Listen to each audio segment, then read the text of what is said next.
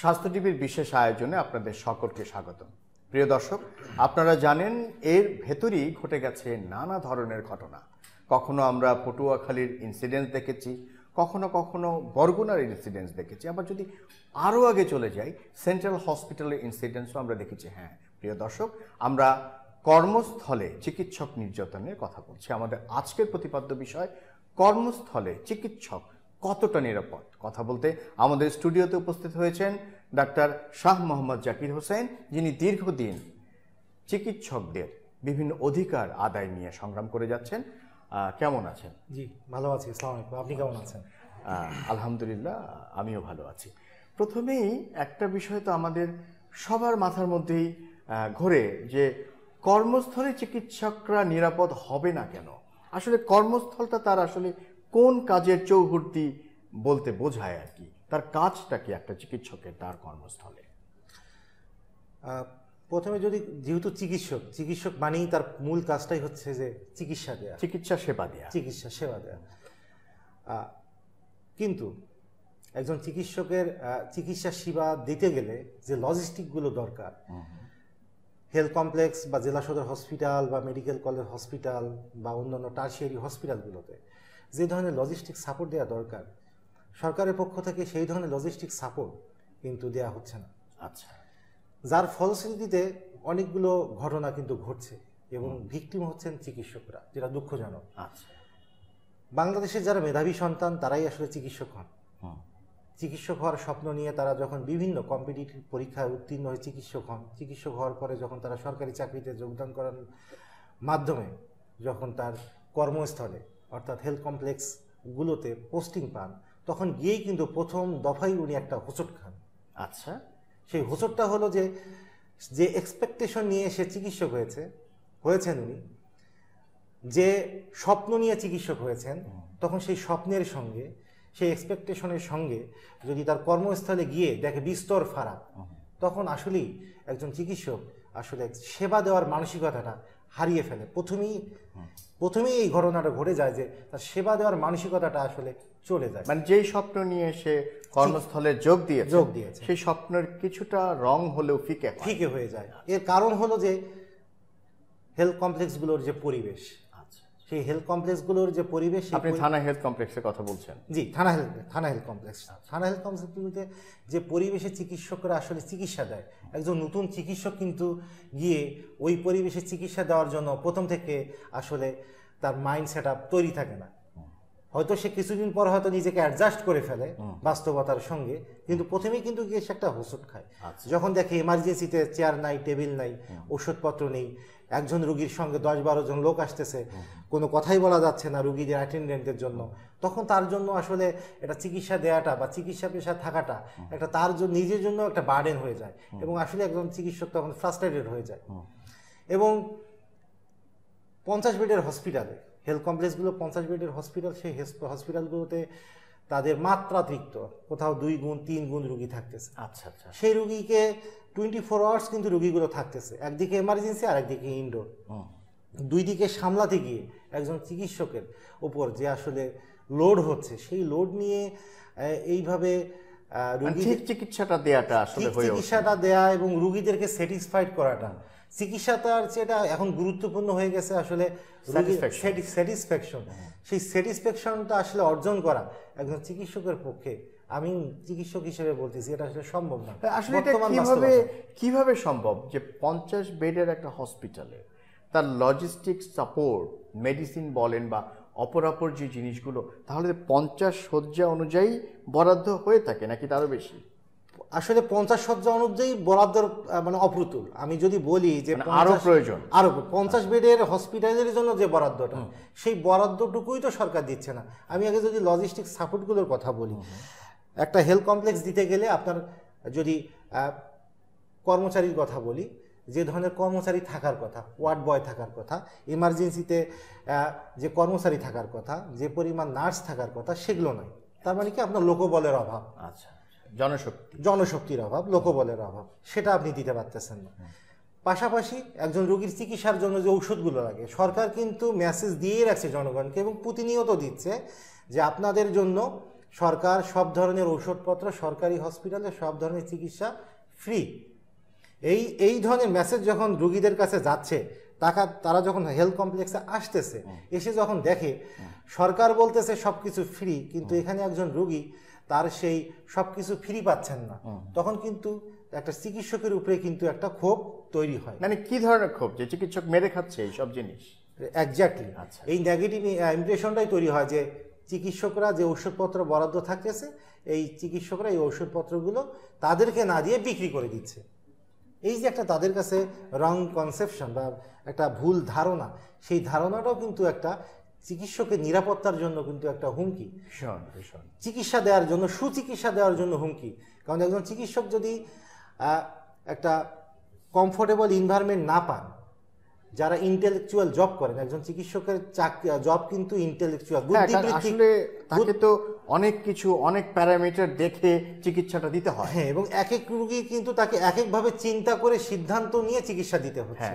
হ্যাঁ এবং person to person vary করতেছে এক একজন এক এক রোগ নিয়ে আসতেছে। আবার একই রোগের অনেক ধরনের প্রেজেন্টেশন থাকে। হ্যাঁ ভ্যারাইটিও থাকে। ভ্যারাইটিও থাকে। সেই জিনিসগুলো বিবেচনা করে একজন চিকিৎসককে সুস্থ মাথায় সুষ্ঠুভাবে চিন্তা করে, চিকিৎসা দেওয়ার যে পরিবেশ, সেটা তো আসলে হেলথ কমপ্লেক্সে নাই।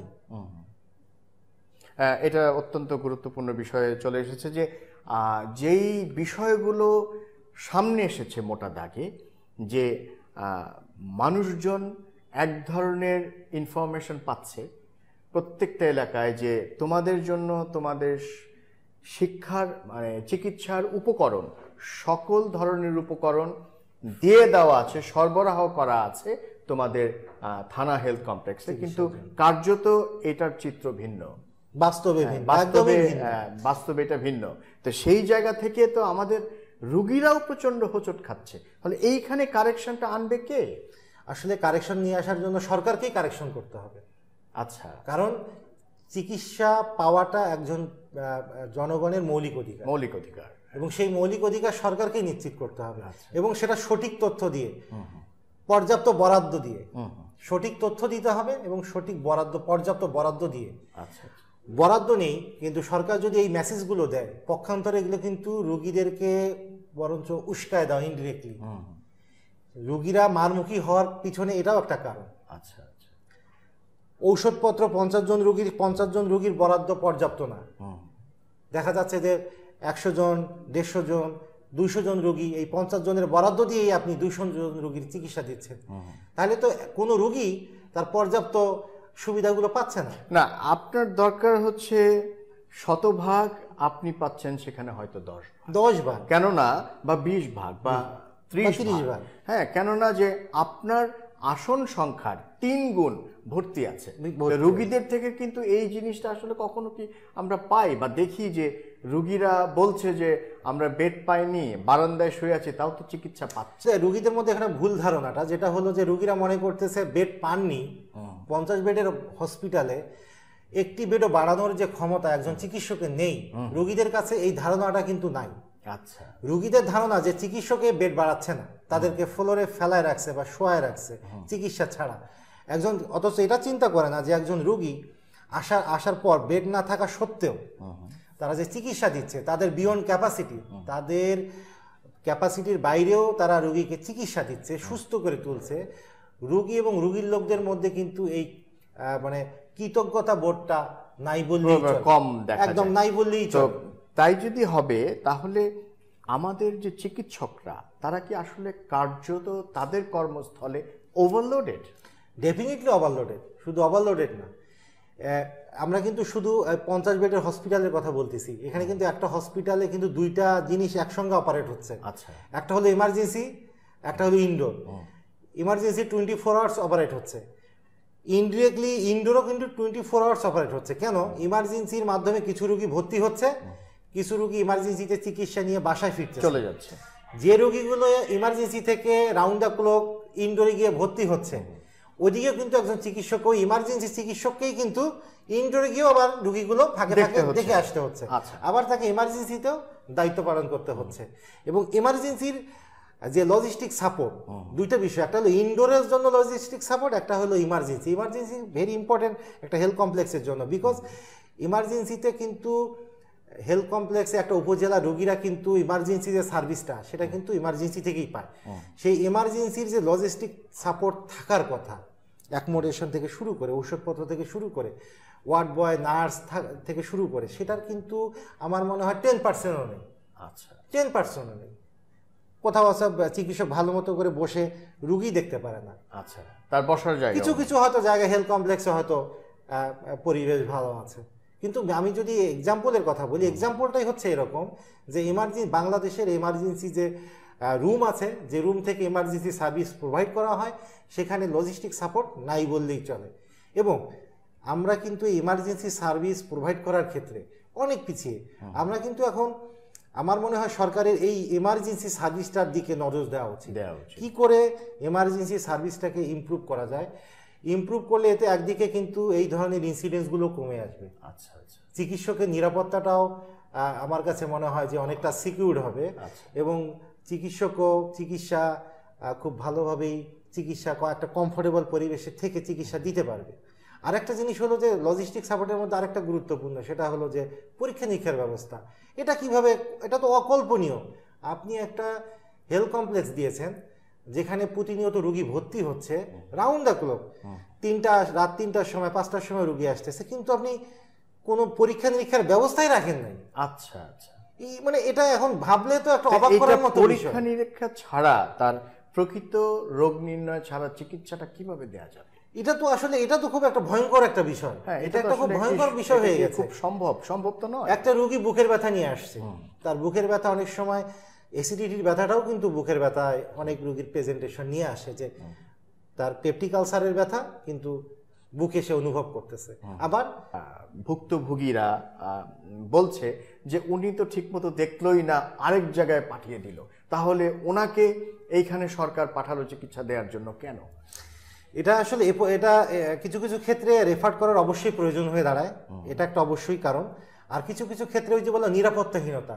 একজন চিকিৎসকের মধ্যে যখন চিকিৎসা দেওয়ার আগে তার জীবনে নিরাপত্তা নিয়ে শঙ্কা তৈরি হয় সেটা যখন আগে চিন্তা করতে হয় রুগীর চিকিৎসার আগে একজন চিকিৎসকে তার জীবন নিয়ে যখন চিন্তা করতে হয় সে কীভাবে অপমানের হাত থেকে বাঁচবে সেটা নিয়ে চিন্তা করতে হয় তখন একজন চিকিৎসক আসলে দায়িত্ব নিয়ে একজন রুগীর চিকিৎসা দেয়াটা দিতে গিয়ে দ্বিধাদ্বন্দ্বের মধ্যে পড়ে যায়। এখন এই সময় চলে হ্যাঁ এখন সেই সময় চলে আসছে এবং এরই ফলশ্রুতি দেখা গেছে যে চিকিৎসক সে হয়রানির হাত থেকে বাঁচার জন্য অনেক ক্ষেত্রে অনেক সময় হয়তো রেফার করতে বাধ্য করে যে আমি আসলে ঠিক বুঝতে পারছি না। আমার প্রয়োজনীয় সরঞ্জামাদি এই মুহূর্তে এখানে নেই।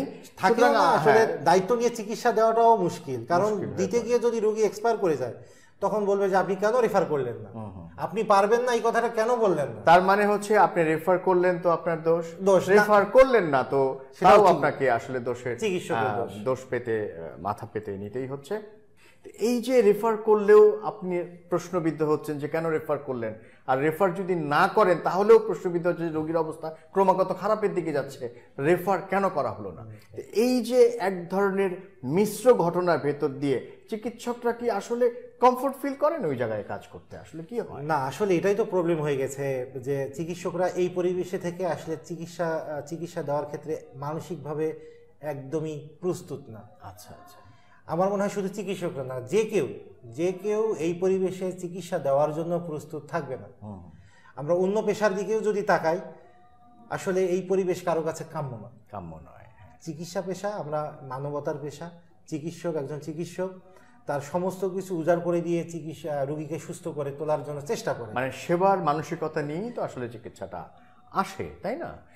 একটা জিনিস কিন্তু আমার খুব অবাক লাগে যে একটা সময় ছিল যখন গ্রামে চিকিৎসক হেঁটে বেড়ালে অন্য সবাই অসম্ভব সম্মান দিতেন এবং বাড়িতে চিকিৎসক এসেছেন। বাড়ির সবারই একটা উজ্জ্বল মুখ দেখা যেত যে চিকিৎসক এসছেন। সেই সম্মানের জায়গাটা চিকিৎসকরা ধরে রাখতে পারল না কেন বলে মনে করেন আচ্ছা চিকিৎসকরা সেই সম্মানটা ধরে রাখতে পারে এর পিছনে আসলে অনেকগুলো কারণ আছে। আচ্ছা।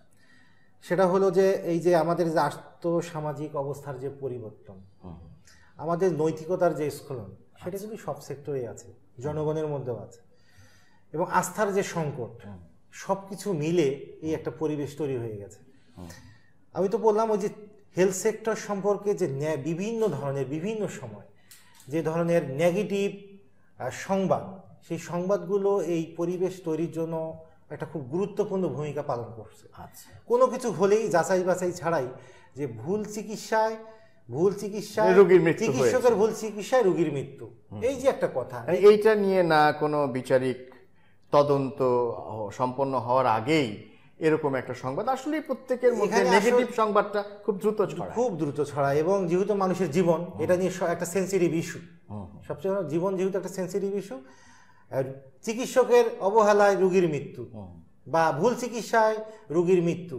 এই এইরকম একটা হেডলাইনে আপনি যদি ভিতরে পড়েন এরকম অনেক সংবাদ আমি পেয়েছি যে দেখা গেল সে চিকিৎসকে না সবচেয়ে আরও এটি এটা খুবই আপত্তিকর এবং দুঃখজনক এবং আমরা আশা করি যে দায়িত্বশীল সাংবাদিকরা তাদের দায়িত্বশীলতার মধ্য দিয়ে এই জিনিসগুলো জনগণের কাছে কখনো রং মেসেজ দিবেন না।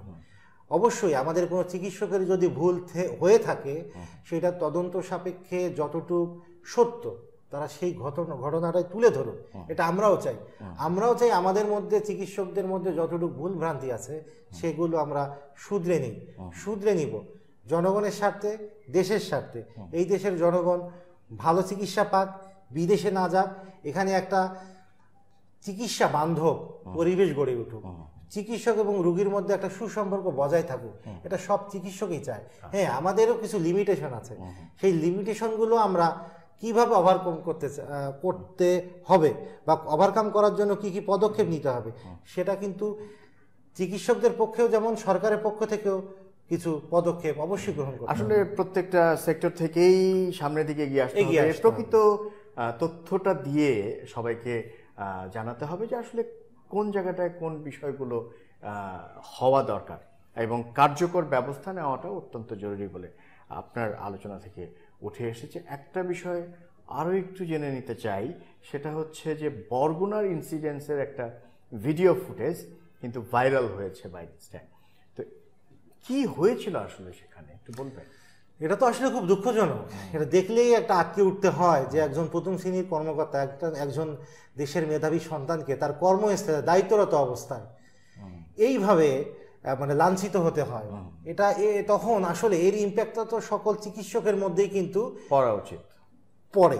আসলে চিকিৎসকরা একজন চিকিৎসক হয়তো লাঞ্ছিত হয়েছে সেই ইফেক্টটা সেই প্রভাবটা সকল চিকিৎসকের উপরে তার চিকিৎসা দেওয়ার ক্ষেত্রে সেই সম্মানটা তো আসলে হ্যাঁ প্রভাব অসম্মানের জায়গাটা তো ছড়িয়ে যায় ঠিকই তো। একজন চিকিৎসকের ওখানে ভুলেই নেই আমরা দেখেছি যে একজন রুগী আসলে জনগণের মধ্যে যদি এই কনসেপ্টটা থাকে যে হসপিটালে রুগী মারা যাবে না তাহলে তো খুব মুশকিল চিকিৎসা দেওয়াটাই মুশকিল। হ্যাঁ খুব খুব। কেউ তো আমরা অমর না। মানে এইটা হয় কি আমি একটু মিলাই যে ক্লাসের ফার্স্ট বয় যদি কখনো সেকেন্ড বয় হয়ে যায় তাহলে কিন্তু অসম্ভব রকম পরাজয় হলো তার। ডেফিনেট হ্যাঁ মানে সব সবসময়ই একটা প্রথম থাকার প্রথম থাকার চেষ্টা যেরকম থাকে। হ্যাঁ এইটা কিন্তু তার জন্য একটা খুব কঠিন কাজ।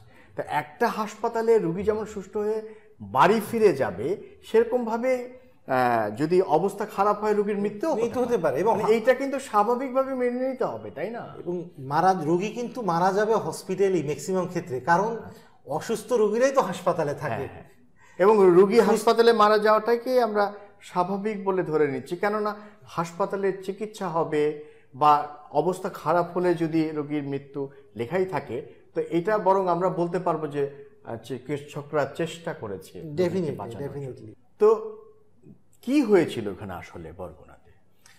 বরগুনাতে ঘটনাটা যদি আমরা চিন্তা করি যে আসলে রোগী ভর্তি হয়েছেন চিকিৎসক কয়েকবার দেখেও এসেছে।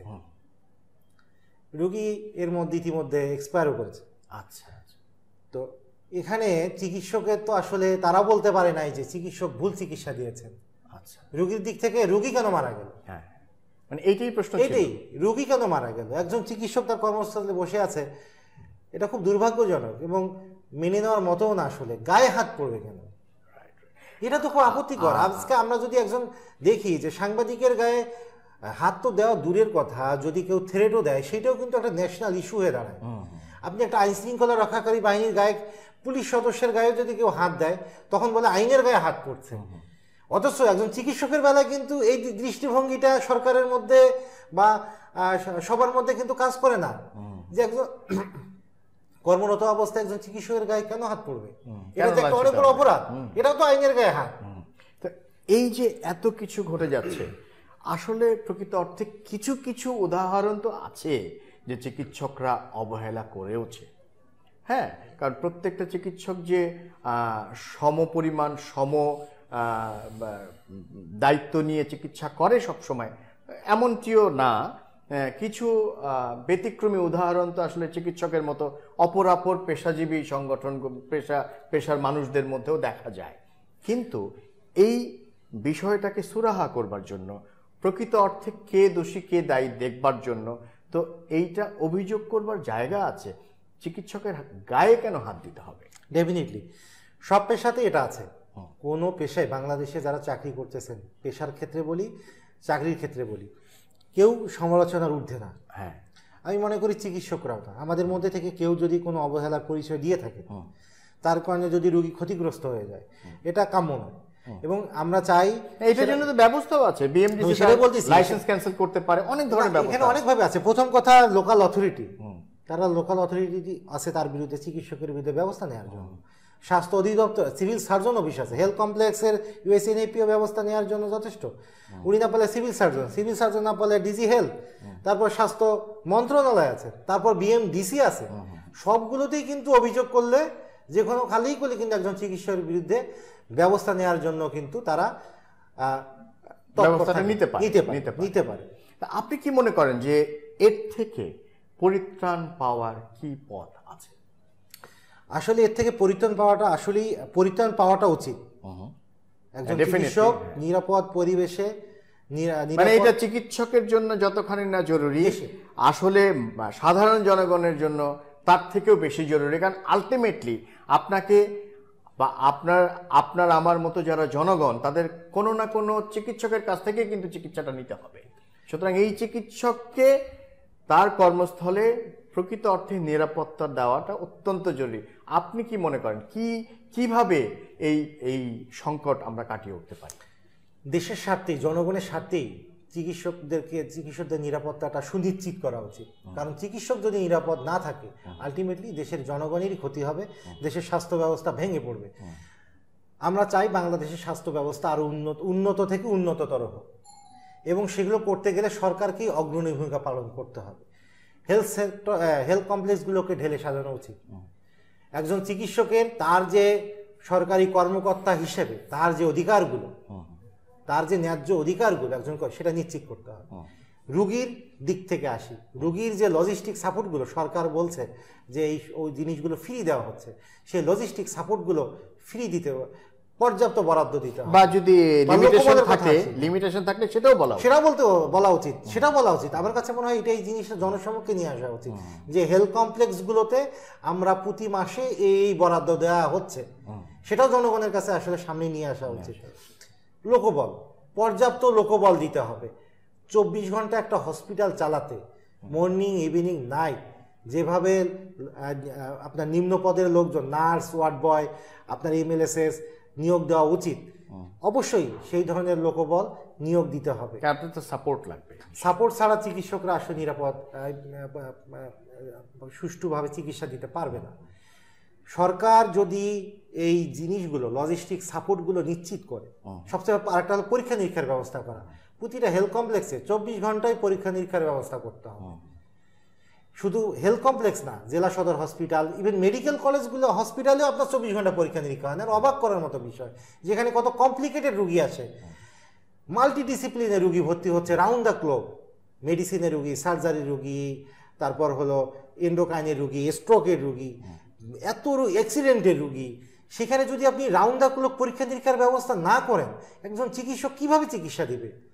রুগীর লোক যখন এখানে আরেকটা বিষয় আছে যখন পরীক্ষা নিরীক্ষার ব্যবস্থা থাকে না রুগীর লোককে একটা অ্যাক্সিডেন্টের রুগীকে আবার যদি টানা হ্যাঁচড়া করে বাইরে নিয়ে যেতে হয় পরীক্ষা নিরীক্ষার জন্য রুগীর লোক তো এমনিতেই তখন আরও ক্ষিপ্ত হয়ে থাকে। সেই ক্ষোভটাও কিন্তু চিকিৎসকের উপরে এসে পড়তেছে। তো এই পরিবেশ থেকে পরিত্রাণ দিতে গেলে সরকারকে অবশ্যই বাস্তবসম্মত পলিসি গ্রহণ করতে হবে বরাদ্দ দিতে হবে এবং এই স্বাস্থ্য এই এই পলিসিগুলো যারা হেলথ এক্সপার্ট তাদেরকে দিয়ে নিতে হবে। আমলাদেরকে নিয়ে দিলে হবে না। আচ্ছা আচ্ছা। যারা হেলথ বোঝে যারা এই বিষয়ে পড়াশোনা করে আসছে যারা এই সেক্টর নিয়ে চিন্তা ভাবনা করে তাদেরকে দিয়েই এই জিনিসগুলো পলিসিগুলো গ্রহণ করতে হবে এবং এই সমস্যার সমাধানে বাস্তবসম্মত পলিসি পদক্ষেপ নিতে হবে। হ্যাঁ ধন্যবাদ আপনাকে আমাদের স্টুডিওতে আজকে সময় দেওয়ার জন্য। প্রিয় দর্শক একটা বিষয় খুবই পরিষ্কার যে চিকিৎসকদের থেকে চেষ্টার কোনো ত্রুটি নেই। দিনরাত এক করে চিকিৎসকরা চিকিৎসা দিয়ে যাচ্ছেন, কিন্তু তার মানসিক সাপোর্ট অধিকাংশ সময় অধিকাংশ জায়গায় তারা পাচ্ছে না।